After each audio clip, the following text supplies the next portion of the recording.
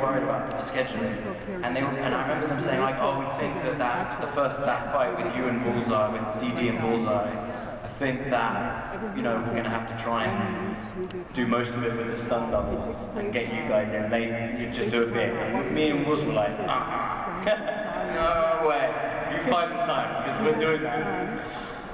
And, and that entire relationship between Daredevil and Wilson Fisk was so beautifully done. And it was almost like an orchestra in, in season three. It was like this grand crescendo uh, that all of us have kind of been waiting for forever. Like we've wanted to see this, particularly whether you're a comic book fan or you just came into the show. So well done. Uh, thanks. Yeah. Um, That was that was a fun fight as well, having the three of us in that room in the penthouse in the end. That was pretty cool. Oh, it was, yeah, it was great. Um, so you already kind of talked about it, at least one of them. Were there any twists in season three that caught you by surprise?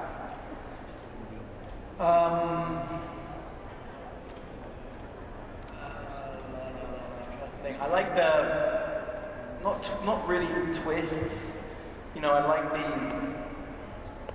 I, I, I don't like to find out what's going to happen, so I find out as I read it. And so when I read episode six, five, episode five, no, episode nine, when we have the fight in the church, and then the when it's you know the iconic image reversed instead of Daredevil holding Karen Page underneath the underneath the crucifix, it was the other way around.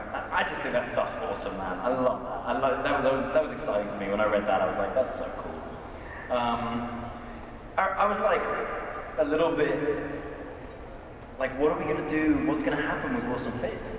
Yeah. You know? Oh, Wilson. Yeah. So he's in prison. Hopeless romantic. We'll see.